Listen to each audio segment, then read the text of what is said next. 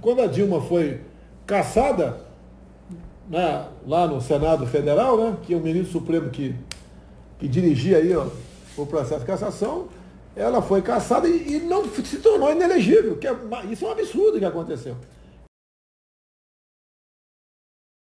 Quando a Dilma foi caçada, ela foi caçada e, e, não se tornou inelegível. Que é, isso é um absurdo que aconteceu. E não se tornou inelegível. Que é, isso é um absurdo que aconteceu.